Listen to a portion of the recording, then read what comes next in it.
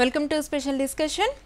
ఈరోజు యూనివర్సిటీల పరిస్థితి ఏ విధంగా ఉంది? అలాగే యూనివర్సిటీలో ఫ్యాకల్టీ ఏ విధంగా ఉంది? నిధుల కొరత అలాగే స్టాఫ్కి సంబంధించి కొరత ఏ విధంగా ఉంది? అన్న సం అన్న విషయాలకు సంబంధించి మనతో డిస్కస్ చేయడానికి ఉస్మానియా యూనివర్సిటీ మాజీ ప్రొఫెసర్ మేరీ ఎస్తియా సింధియా గారు ఉన్నారు వారిని అడిగి మరిన్ని వివరాలు తెలుసుకుందాం. నమస్కారం మేరీ గారు. నమస్కారం అండి. ముందుగా అసలు యూనివర్సిటీ బలోపేతం చేయాలంటే ఏం చేయాలంటారు? యూనివర్సిటీ బలోపేతం చేయాలంటే రిక్రూట్మెంట్ చేయాలి మేడం? రిక్రూట్మెంట్ చేయాలి. ఎందుకంటే యూనివర్సిటీలో మనం చూస్తున్నాం ఏమంటే రిక్రూట్మెంట్ లేక ఫ్యాకల్టీ తగ్గిపోతూ ఉంది. ఎవ్రీ ఇయర్ స్టాఫ్ రిటైర్ అయిపోతూ ఉన్నారు. దానికి రీప్లేస్మెంట్ లేదు. కాబట్టి ప్రొఫెసర్స్ని ఫ్యాకల్టీని రిక్రూట్ చేయాలి.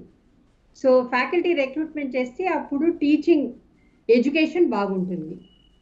కాబట్టి మనం first recruitment filling up of the vacancies ఈ గ్యాప్స్ అన్ని ఫిల్ చేసి స్టాఫ్కి స్కేల్స్ ఇస్తూ మనం ఎంకరేజ్ చేస్తే అప్పుడు యూనివర్సిటీస్ బాగుపడతాయి. ఓకే మేడం అంటే పిహెచ్డి చేసిన వాళ్ళు కూడా నిరుద్యోగంతో బాధపడుతున్న సందర్భాలు కూడా మనం చూస్తూ ఉన్నాం. అలా అలాంటి వాళ్ళకు ఫ్యాకల్టీ ఇవ్వకపోవడానికి గల కారణాలు ఏంటి అలాంటి వాళ్ళకు అంటే మనం ప్రొఫెసర్గా ఎందుకు చూడలేకపోతున్నాం వాళ్ళని? మళ్ళీ అసలు మనకు ఫ్యాకల్టీ రిక్రూట్మెంట్ చాలా తగ్గిపోయిందండి. ఎందుకో అర్థం అవడం లేదు అన్ఎంప్లాయ్మెంట్ పిహెచ్డి చేసిన స్టూడెంట్స్ చాలా మంది ఉన్నారు. కానీ మన state universities for example Osmania university అండి. నేను ఉస్మానియా యూనివర్సిటీలో for thirty two years teach చేసి ఇప్పుడు రీసెర్చ్ చేస్తూ ఉన్నాను. నాకు ఫార్టీ ఇయర్స్ రీసెర్చ్ ఎక్స్పీరియన్స్ ఉంది. తర్వాత ఇప్పుడు ప్రస్తుతము సెవెన్ స్టూడెంట్స్ నా కింద పిహెచ్డి చేస్తూ ఉన్నారు మేడం అయితే మనం చూసేది ఏంటంటే నేను ఈ థర్టీ టూ ఇయర్స్లో చూసింది ఏమంటే నంబర్ ఆఫ్ ప్రొఫెసర్స్ అంతా తగ్గిపోతున్నారు madam for example two thousand టెన్లో బాటనీ డిపార్ట్మెంట్లో చూస్తే నైన్టీన్ ప్రొఫెసర్స్ ఉండేవారు. నైన్టీన్ ప్రొఫెసర్స్ ఈరోజు యాజ్ ఆన్ ట్వంటీ ట్వంటీ చూస్తే మా బాటనీ డిపార్ట్మెంట్లో కేవలము రెండే రెండు ప్రొఫెసర్స్ ఉన్నారు. తర్వాత total faculty members one associate professor fifteen assistant professor total strength eighteen ఉంది. టూ థౌజండ్ టెన్లో ట్వంటీ నైన్ ఉండేవారు. సో మనం చూస్తే ఏమవుతుందంటే మేడం ఇప్పుడు faculty members ten years back twenty nine ఉండే ఇప్పుడు ఆల్మోస్ట్ ఎయిటీన్కి రెడ్యూస్ అయిపోయింది. క్రమంగా ప్రొఫెసర్స్ సూపరాన్యుయేట్ అవుతుంటే రిక్రూట్మెంట్ లేకపోతే న్యాచురలీ క్వాలిటీ ఆఫ్ ఎడ్యుకేషన్ తగ్గిపోతుంది. The amount of research work కూడా తగ్గిపోతుంది. తర్వాత న్యూ ఫ్యాకల్టీని రిక్రూట్ చేస్తే వాళ్ళకు ఇన్సెంటివ్స్ ఇవ్వాలా? మనం ఓన్లీ అకాడమిక్ కన్సల్టెంట్ అంటూ పార్ట్ టైమర్స్ పెట్టుకుంటే అంత బాగోదు. నా పర్సనల్గా వాట్ ఐ ఫీల్ ఏంటంటే వాళ్ళకు కూడా స్కేల్స్ ఇచ్చి పర్మనెంట్కి పెడితే వాళ్ళకి ఇన్సెంటివ్స్ ఇస్తే హౌ దే టీచ్ వాళ్ళు క్లాస్ రూమ్లో టీచింగ్ అన్నా రీసెర్చ్ అన్నా చేయాలంటే వాళ్ళకు అన్ని ఫెసిలిటీస్ ఫ్రీడమ్ ఇచ్చి స్కేల్స్ ఇచ్చి ఇన్ఫ్రాస్ట్రక్చర్ రీసెర్చ్ ఫెసిలిటీస్ ఇస్తే అప్పుడు డెఫినెట్లీ ఈ అన్ఎంప్లాయ్మెంట్ ప్రాబ్లం కూడా తగ్గిపోతుంది. యూనివర్సిటీ కూడా స్ట్రెంగ్తన్ అవుతుంది. ఎస్పెషలీ మన ఉస్మానియా యూనివర్సిటీ నేను చదువుకున్నాను. State university one of the oldest university third oldest university in South India దీనికి హండ్రెడ్ ఇయర్స్ చరిత్ర ఉంది. కాబట్టి ఉస్మానియా యూనివర్సిటీ అయినా state university Hyderabad central university ఉంది మన ఇక్కడ తెలంగాణ రీజన్లో మన తెలంగాణ రీజన్లో సో ఇక్కడ మనకేంటంటే స్పెషలీ ఉస్మానియాలో రిక్రూట్మెంట్ ఉండాలి. అప్పుడు అన్ఎంప్లాయ్మెంట్ కూడా తగ్గిపోతుంది. ఓకే మేడం అసలు ప్రధాన కారణం ఏంటి? ఫ్యాకల్టీ మెంబర్స్ తగ్గడానికి గల కారణాలు ఏంటి ప్రధానంగా? ఏంటండి? అంటే ఫ్యాకల్టీ మెంబర్స్ తగ్గడానికి ప్రధాన కారణం ఏంటి అని అడుగుతున్నాను మేడం. రిక్రూట్మెంట్ తగ్గడానికి అంటున్నారా అవును. నేను? నేనేమనుకుంటున్నానంటే మన నిధులు ఉండాలి మేడం. బ్లాక్ గ్రాంట్ ఉండాలా? నిధులు ఉండాలా ఎందుకంటే మన స్టేట్ గవర్నమెంట్ అంటే ఇప్పుడు స్టేట్ యూనివర్సిటీ మన ఉస్మానియా యూనివర్సిటీ నా తల్లి. దానికి ఇప్పుడు స్టేట్ మన తెలంగాణ తల్లి it has to bear the expenditure కాబట్టి మనకు ఎక్స్పెండిచర్ కేటాయించుకోవాలి మన బడ్జెట్లో మనము మన స్టేట్ యూనివర్సిటీస్కి బడ్జెట్ పెట్టుకొని ఫ్యాకల్టీ రిక్రూట్ చేయాలి. మనం బడ్జెట్ అలాట్ అలొకేషన్ ఉండాలి. ఓకే అంటే. ఓకే అసలు నిధుల కొరత ఎందుకు ఏర్పడుతుంది ప్రభుత్వ యూనివర్సిటీలకు సంబంధించి? ఇప్పుడు ప్రభుత్వ యూనివర్సిటీలో ఇంత అరాకొర పరిస్థితి ఉన్నా ప్రైవేట్ యూనివర్సిటీలకు పర్మిషన్లు ఎందుకు ఇస్తున్నారు? ఏమో మేడం సెంట్రల్ యూనివర్సిటీ సెంట్రల్ నుంచి మనకు రావాలి. బ్లాక్ గ్రాంట్ రావాలి. కాబట్టి నాకేమనిపిస్తుందంటే సెంటర్ దగ్గర నుంచి సెంటర్ నుంచి మనకు బ్లాక్ గ్రాంట్ ఇంక్రీజ్ కావాలి. బ్లాక్ గ్రాంట్ ఇంక్రీజ్ అయితే ఆటోమేటిక్లీ మనకు రిసోర్సెస్ ఉంటాయి. Then we can recruit fresh people. అది. మనకు సెంటర్ నుంచి రావాలి సెంటర్. మెయిన్. ఓకే అంటే నిధుల కొరత కూడా దారి మళ్ళిస్తుంది నిధులు కూడా దారి మళ్ళింపు జరుగుతుంది అన్న వార్తలను కూడా వినిపిస్తున్నాయి మేడం. అది ఎంతవరకు కరెక్ట్ అంటారు? ఏమో మేడం నాకు పాలిటిక్స్లో అంత ఇది లేదు. నేను కాన్సన్ట్రేట్ చేసేది ఏంటంటే టీచింగ్ రీసెర్చ్. ఈ రెండే నేను ఈ thirty two years forty years concentrate చేసేది టీచింగ్ రీసెర్చ్. ఈ రెండు కాబట్టి నాకు ఈ దారి ఇవన్నీ నాకు ఎక్కువ అవగాహన లేదు మేడం. Okay madam. అలాగే సెంట్రల్ యూనివర్సిటీస్ అలాగే స్టేట్ యూనివర్సిటీకి గల డిఫరెన్స్ ఏంటంటారు? సెంట్రల్ యూనివర్సిటీ అంటే ఫండింగ్ అంతా సెంటర్ చేస్తుందండి Delhi. Okay. So university of Hyderabad central university ఉంది. అక్కడ రెగ్యులర్గా రిక్రూట్మెంట్ అవుతుంది. అక్కడ ఫ్యాకల్టీ కొరత ఏం లేదు. రీసెర్చ్ ఉంది ఫెసిలిటీస్ ఉన్నాయి. So funding is they from centre. కాబట్టి అక్కడ ఏమవుతుందంటే ఇలాంటి గ్యాప్ లాక్యూనే లేదు. నేను ఇందాకే మీకు చెప్పినట్టు మా బాటనీ డిపార్ట్మెంట్లో ట్వంటీ టెన్లో నైన్టీన్ ప్రొఫెసర్స్ ఉండే. ఇప్పుడు ట్వంటీ ట్వంటీలో కేవలము రెండే రెండు ప్రొఫెసర్స్ ఉన్నారు. కాబట్టి ఈ పరిస్థితి ఈ పంతొమ్మిది మంది రెండుకు రెడ్యూస్ అయిపోయారు. ఇంకొన్నేళ్ళు అయితే వీళ్ళు రిటైర్ అయిపోయారు అనుకోండి ప్రొఫెసర్స్ ఉండరు. కాబట్టి మనము తప్పకుండా రిక్రూట్మెంట్ చేయాలి. ఇలాంటి లాక్యునే లేదు. సెంట్రల్ యూనివర్సిటీలో ఇలాంటి పరిస్థితి లేదు. ఎందుకంటే వాళ్ళకి సెంటర్ నుంచి ఫండ్స్ వస్తున్నాయి. సెంటర్ నుంచి సమృద్ధిగా వస్తున్నాయి కాబట్టి అక్కడ ప్రొఫెసర్స్ ఉన్నారు అసిస్టెంట్ ప్రొఫెసర్స్ ఉన్నారు అసోసియేట్ ప్రొఫెసర్స్ ఉన్నారు. రీసెర్చ్ బాగా జరుగుతుంది మేడం. ఓకే అంటే స్టేట్ యూనివర్సిటీలకు ఎందుకు ఆ ఫెసిలిటీస్ ఉండట్లేదు అనుకోవచ్చు మనం అంటే బడ్జెట్ అలాట్మెంట్ చేయాలి కదా మేడం.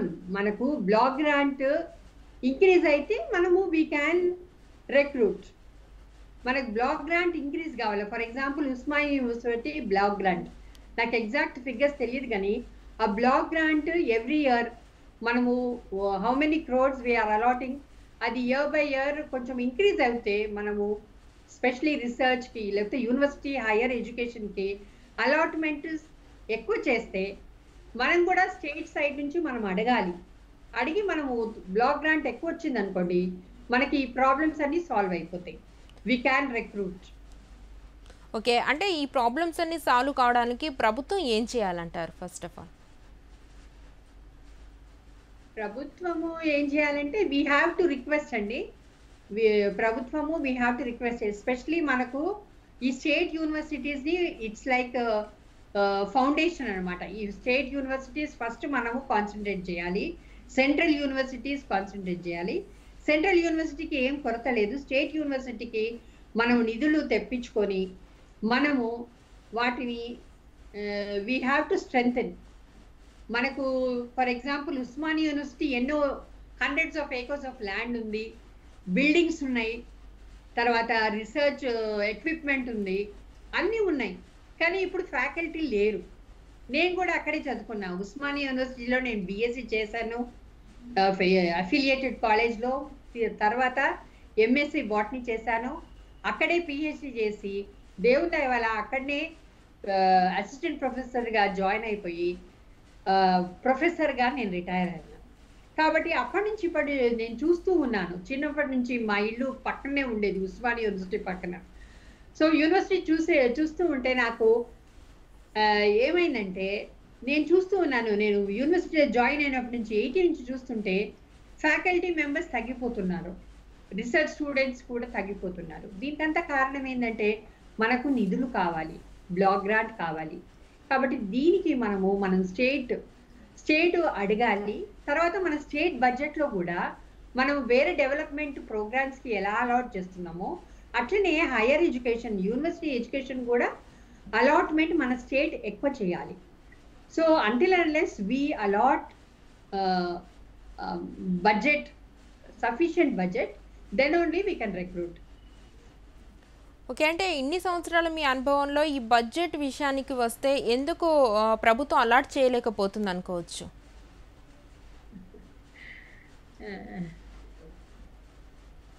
ఇప్పుడు నేను అన్నట్టు మేడం పాలిటిక్స్ అంటే నాకు ఎక్కువ తెలియదు కానీ నేనేమనుకున్నాను అంటే స్టేట్ యూనివర్సిటీ మన Osmania university state university. So దీనికి డెవలప్మెంట్కైనా ఫ్యాకల్టీకి జీతాలు ఇవ్వాలన్నా అన్నీ కూడా మన స్టేట్ చూసుకుంటుంది. కాబట్టి మన స్టేట్ గవర్నమెంటే it should generate certain ways in which we can allot block grant ఎక్కువ చేయడము. ఫ్యాకల్టీ మెంబర్స్ని ఇంక్రీజ్ రిక్రూట్ చేయాలి. ఇట్లా డ్విండిల్ అయిపోతా ఉన్నారు కాబట్టి they should see various means by which they can allot వేరే uh, ప్రాజెక్ట్స్కి పెట్టే బదులు మనకు ముఖ్యంగా కావాల్సింది ఏంటంటే ప్రోగ్రెస్ కావాలి అంటే మనకు ఎడ్యుకేషన్ ఉండాలి. Education is very important and research is very important so విద్య విద్యాభివృద్ధికి మనము బడ్జెట్ కేటాయించినప్పుడు ఎక్కువ కాన్సన్ట్రేట్ చేసి ఎక్కువ కేటాయించడం అనుకోండి ఇలాంటి ప్రాబ్లమ్స్ అన్ని సాల్వ్ అవుతాయని నా పర్సనల్ ఫీలింగ్ అండి. ఓకే అంటే యూజీసీ నియమ నిబంధనలు ఏం చెప్తున్నాయి దీనికి సంబంధించి? యూజీసీ వాళ్ళండి? ఎస్ అండి. ఎస్ మేడం యూజీసీ వాళ్ళు ఏం చెప్తున్నారంటే నాకు ఎగ్జాక్ట్ యాజ్ ఆన్ టుడే నాకు తెలియదు మేడం కానీ నేనేమనుకుంటే యూజీసీ మనకు వాళ్ళ రూల్స్ ప్రకారము చేస్తూనే ఉన్నారు. ఫర్ ఎగ్జాంపుల్ మేము రీసెర్చ్ ప్రాజెక్ట్స్ నేను చాలా ఫోర్ రీసెర్చ్ ప్రాజెక్ట్స్ చేశాను మేడం. దానికి ఫండింగ్ వాళ్ళు ఇస్తారు. ఎక్స్ట్రా వాటికి. ఫర్ రీసెర్చ్ వర్క్ కోసం వాళ్ళు ఎంకరేజ్ చేస్తారు. We want to build a ladies hostel అనుకొని వాళ్ళకి అప్లై చేసామనుకోండి మెయిన్ యూజీసీకి వాళ్ళు గ్రాంట్ ఇస్తారు. తర్వాత లేడీస్ హాస్టల్కి కూడా ఇంకొక బ్లాక్ కావాలని మేము ఉమెన్స్ కాలేజ్లో అడిగినప్పుడు వాళ్ళు గ్రాంట్ ఇచ్చారు మేడం. సో వాళ్ళు ఎక్స్ట్రా థింగ్స్ ఇస్తారు. కానీ బేసిక్ థింగ్ మన స్టేట్ గవర్నమెంట్ చేసుకోవాలి. నా దృష్టిలో ఏమనుకుంటుంటే మన స్టేట్ వాళ్ళము మన మన రోల్ మనం ప్లే చేయాలి. తర్వాత వాళ్ళు సెంటర్ వాళ్ళు వాళ్ళ వాళ్ళ they role they will play okay madam అంటే మీరు ఏ ఏ అంశాల్లో రీసెర్చ్ చేశారు ఇప్పటి వరకు? నేనైతే వాటర్ పొల్యూషన్ మీద చేశాను మేడం ఓకే నేను బాటనీలో వాటర్ పొల్యూషన్ మీద చేశాను. నా దగ్గర almost seven PhD students already doctorate తీసుకున్నారు. ఇప్పుడు ప్రస్తుతము సెవెన్ uh, ఇంకా చేస్తూ ఉన్నారు. నలుగురు అయితే కంప్లీట్ అయినారు ఇంకా ముగ్గురు చేస్తున్నారు. సో వాటర్ పొల్యూషన్ ఇది నాది మెయిన్ థింగ్ అండి. మన స్పెషలీ తాగే నీరు మనం చూస్తున్నాము తాగే నీరు పరిశుభ్రంగా ఉండాలి డిజీజ్ లేకుండా ఉండాలి. మనం ఈ సిటీలో నేను ఇక్కడ హైదరాబాద్ సిటీలో ఉంటున్నాం కాబట్టి we are we have drinking water supply మనకు ట్యాప్ వాటర్ వస్తుంది డ్రింకింగ్ వాటర్ సప్లై వస్తుంది. మున్సిపల్ కార్పొరేషన్ ఆఫ్ హైదరాబాద్ మనకి ఇస్తుంది. కానీ సర్టన్ రీజన్స్లో ఇప్పుడు మన Telangana government is making all efforts ప్రతి ఇంటికి తాగే నీరు ఇవ్వాలని ఒక పథకం వేసుకొని వాళ్ళు మంచి పని చేస్తూ ఉన్నారు. చాలా we can appreciate that work తర్వాత నేను ఇంకోటి ఏం చూస్తున్నానంటే సమ్మర్ సీజన్లో స్పెషలీ మనం ఏం చేస్తామంటే ఈ డ్రింకింగ్ వాటర్ సరిపో సరిపోనప్పుడు మనము గ్రౌండ్ వాటర్ మీద డిపెండ్ అవుతాం. కాబట్టి గ్రౌండ్ వాటర్ మీద కూడా మేము రీసెర్చ్ చేసి చూసాము. గ్రౌండ్ వాటర్ క్వాలిటీ ఒక్కోసారి స్పెషలీ పటంచేరి ఏరియా ఈ ఇండస్ట్రియల్ ఏరియాలో చాలా పొల్యూటెడ్ ఉంది. కానీ సర్టన్ అదర్ రీజన్స్లో బాగుంది. కాబట్టి వాటర్ ఈజ్ వెరీ ఇంపార్టెంట్. నీరు మంచి నీరు వెరీ ఇంపార్టెంట్. తర్వాత ఏమవుతుందంటే ఈ నీళ్ళు స్పెషలీ యాజ్ ఎ విమెన్ ఒక లేడీగా నేను అనుకునేది ఏంటంటే వీ డిపెండ్ అపాన్ వాటర్. ఉదయం లేస్తూనే తాగడానికి వంట చేయడానికి తర్వాత అన్ని పనులు చేసుకోవడానికి మనం వాటర్ మీద బట్టలు ఉతకడానికి వీటన్నిటికీ వాటర్ మీద డిపెండ్ అవుతాం కాబట్టి నా మెయిన్ విజ్ఞప్తి యాజ్ అ ఉమెన్ ఏంటంటే మంచి మంచి నీరు ఉండాలి. తర్వాత హైయర్ ఎడ్యుకేషన్ మంచి విద్య మనము మన స్టూడెంట్స్కి మా ఇవ్వాలి.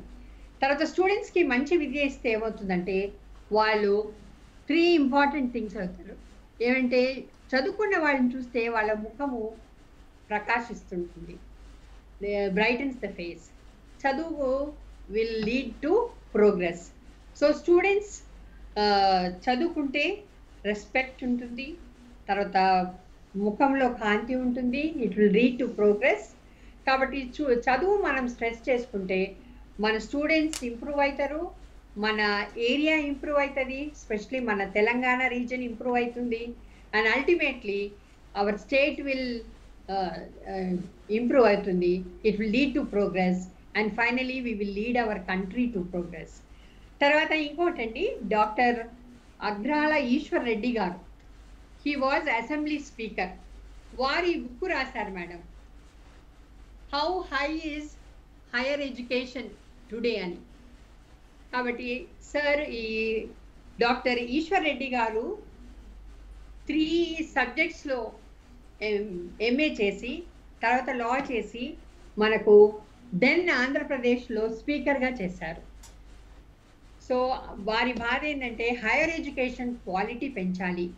మంచి ఫెసిలిటీస్ ఇవ్వాలి. మన స్పెషలీ ఇంకా వీరంటే రెడ్డి గారు ఈశ్వర్ రెడ్డి గారు ప్రొఫెసర్ వాస్తుశిల్పి బిఎన్ రెడ్డి గారు నాట్ ప్రొఫెసర్ బిఎన్ రెడ్డి గారు వాస్తుశిల్పి బిఎన్ రెడ్డి గారు వాళ్ళ బంధువు. సో వీరి ద్వారా ఈ బుక్ మాకు మా హస్బెండ్ ద్వారా ఈ బుక్ ఇచ్చారండి పరిచయం అయినప్పుడు సో ఇక్కడ రాస్తారనమాట మన హైయర్ ఎడ్యుకేషన్ క్వాలిటీ తగ్గిపోతుంది. కాబట్టి మనము కేర్ తీసుకోవాలి. దీనికి నిధులు హైయర్ ఎడ్యుకేషన్కి మనము ఎక్కువ బడ్జెట్లో కేటాయించి మనము ఎడ్యుకేషన్ ఇంప్రూవ్ చేయాలి అని చెప్పి వారు ఈ బుక్లో చాలా హైలైట్ చేస్తారు. ఓకే మేడం అసలు యూనివర్సిటీలో రిక్రూట్మెంట్ అనేది ఎందుకు జరగటం లేదు? ప్రధాన సమస్య ఏంటంటారు? ప్రధాన సమస్య రిక్రూట్మెంట్ అండి. ఇప్పుడు నాట్ ఓన్లీ ఎడ్యుకేషన్ అండి ఏ ఫీల్డ్లో చూసినా కానీ ఈవెన్ ఎడ్యుకేషన్ అయినా ప్రైవేట్ సెక్టార్లో అయినా కానీ నేను గమనించింది ఏంటంటే రిక్రూట్మెంట్ లేకుండా అవుట్ సోర్సింగ్ అనేది ఒకటి కొత్తగా చూస్తున్నాను మేడం నేను. ఇప్పుడు కాంట్రాక్ట్ బేసిస్ మీద తీసుకోవడం. అట్లా అవుతుంది. దానివల్ల ఏమవుతుందంటే రిక్రూట్మెంట్స్ అవ్వడం లేదు. మళ్ళీ నాకేమనిపిస్తుంది అంటే పర్సనల్గా కాంట్రాక్ట్ లెక్చరర్స్కి మనం ఇచ్చామనుకోండి వాళ్ళకు శాలరీ కూడా న్యాచురలీ కాంట్రాక్ట్ అంటే చాలా తక్కువ ఉంటుంది. కాబట్టి we cannot expect high standard of teaching from them research కూడా హై స్టాండర్డ్ ఉంటుంది కాబట్టి దీనికి మనము ప్రయత్నం చేసి మన స్టేట్ గవర్నమెంట్కి అందరం కలిసి ఒక మాట అడిగి ఎడ్యుకేషన్ మినిస్టర్ని కలిసి వాళ్ళని రిక్వెస్ట్ చేసి మన ఎడ్యుకేషన్కి కొంచెం బడ్జెట్ హైయర్ బడ్జెట్ అలాట్ చేసి రిక్రూట్మెంట్ చేస్తే state యూనివర్సిటీస్లో faculty teaching faculty non teaching faculty in other technical స్టాఫ్ని కూడా రిక్రూట్ చేయాలి. చేస్తే దెన్ ఓన్లీ అప్పుడు ఎంప్లాయ్మెంట్ తగ్గిపోతు uh, అది ఎంప్లాయ్మెంట్ అన్ఎంప్లాయిడ్ యూత్ ఉన్నారు వాళ్ళకు జాబ్స్ వస్తాయి. జాబ్స్ వచ్చినప్పుడు కూడా వాళ్ళకు స్కేల్స్ అంటూ ఉంటే ఏమవుతుందంటే వాళ్ళకి ఇన్సెంటివ్స్ అరే నాకు సాలరీ మంచిగా ఇస్తున్నారు I must do my best అనే ఫీలింగ్ ఉండాలి. తర్వాత ఎవరైనా టీచింగ్ టీచింగ్ ప్రొఫెషన్లో ప్రొఫెసర్స్ ఆర్ ద క్రీమ్ తర్వాత టీచింగ్ ప్రొఫెషన్లో ఎవరైనా కానీ వాళ్ళకి ఫుల్ ఫ్రీడమ్ ఇవ్వాలి. Freedom to do their research work and liberty to take the classes ఇవన్నీ ఉన్నప్పుడు ఏమవుతుందంటే చక్కగా టీచింగ్ ఉంటుంది. మనం కాంట్రాక్ట్ పెట్టుకుంటే నాకు పర్సనల్గా అనిపిస్తుంది మన రిజల్ట్స్ అంత బాగా ఉండవు. ఉంటాయి రిజల్ట్స్ ఉంటాయి. కాదండి కాదు. But it will not be that fine అనమాట అంత హై స్టాండర్డ్ ఉండదు. కాబట్టి మనం రిక్రూట్మెంట్స్ చేసి మన ఈ హైయర్ ఎడ్యుకేషన్ సమస్యను కొంతవరకు తీర్చుకుంటే మళ్ళీ మనకు ఈ hundred years hundred and three years strength of Osmania university ఇప్పుడు ఉస్మానియా యూనివర్సిటీ ఫామ్ అయ్యి ఎస్టాబ్లిష్ అయ్యి హండ్రెడ్ అండ్ త్రీ ఇయర్స్ అవుతుంది మేడం. ఆ బ్యాక్ గ్లోరీ రావాలంటే రిక్రూట్మెంట్స్ కంపల్సరీగా ఉండాలి. Quality of research and education కూడా ఇంప్రూవ్ కావాలి అని నాకు అనిపిస్తుంది.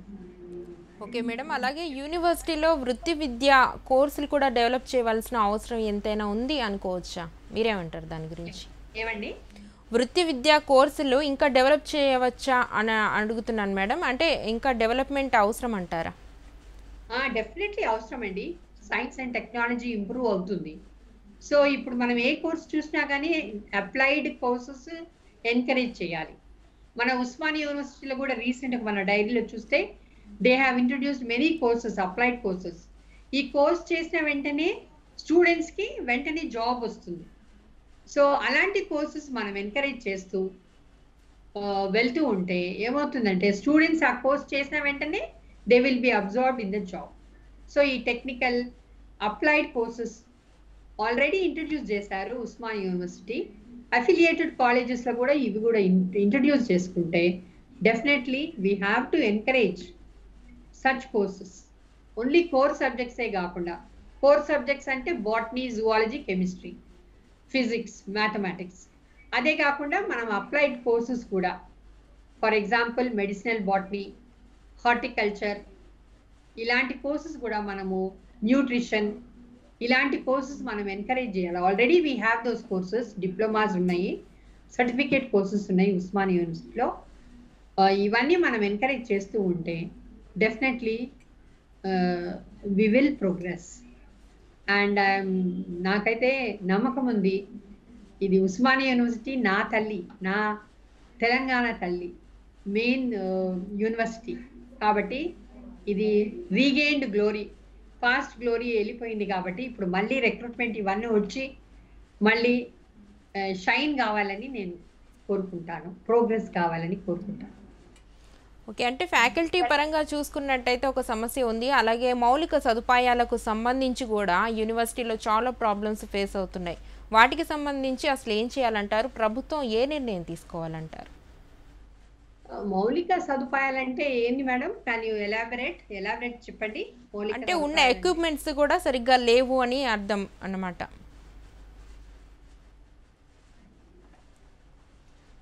హలో? హలో? అంటే రీసెర్చ్ చేయడానికి ఉండే సదుపాయాలు సరిగ్గా ఉండకపోవడము అలా. అంటే ఇప్పుడు మనం for example Osmania university botany డిపార్ట్మెంట్కి వచ్చామనుకోండి మాకు ఎక్విప్మెంట్ ఉంది మేడం కానీ ఇప్పుడు ఏమైపోయిందంటే ఇప్పుడు కొంతమంది ప్రొఫెసర్స్ రిటైర్ అయిపోయినారు. ఆ ఎక్విప్మెంట్ అలాగనే ఉండిపోతుంది. వాటిని యూజ్ చేసుకోవాలి. అదే కాకుండా మనకు సిఎఫ్ఆర్డి అని ఉంది. Centre for central facilities for research and development ఈ సిఎఫ్ఆర్డీలో కూడా కొన్ని లేటెస్ట్ ఎక్విప్మెంట్ పెట్టారు. రీసెర్చ్ స్టూడెంట్స్ ప్రతి ఒక్క కొన్ని ఎక్విప్మెంట్స్ చాలా కాస్ట్లీగా ఉంటాయి.